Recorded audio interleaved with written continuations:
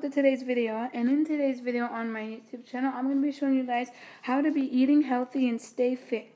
So if you guys want to learn how to eat healthy and stay fit then stay tuned for this video. And as you guys could see in this video I'm going to be showing you guys how to be making a healthy salad.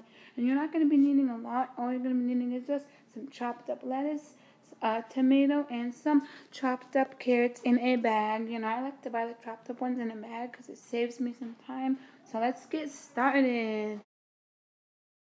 So here's what I'm doing. I'm just chopping up my lettuce a little bit more thinner. Then I'm going to move that to the side and grab my chopped up carrots into a bag. So here's my carrots that are already, you know, pre-chopped and they're in a bag. So I'm going to apply that all over the lettuce. There we go. So here's the bag that we normally get. You know, this is the lettuce. I mean, the carrots, excuse me. So yeah, um, they just buy that like Safeway, Costco, whatever. Here's my tomato.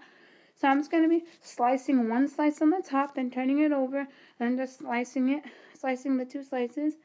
Because usually if I slice one slice on the top, then I turn it over, and then when I cut it, two slices will come at a time.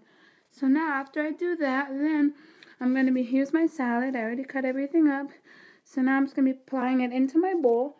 But you do not have to use salad dressing or any of that. That's just optional. But for me, I use lemon juice. I use like natural fresh lemon or lemon juice. That's optional. So here's my salad. Ooh, tastes good.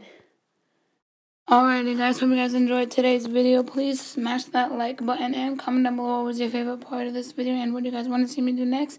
And don't forget to subscribe and turn on the bell notification to not miss another video like this. It was a lot of fun to make this video for you guys, showing you guys how I eat healthy, you know, how I make a salad to eat healthy. So, see you guys in my next video. Bye. Make sure you guys comment down below and subscribe and turn on the bell and smash that likes button. Bye.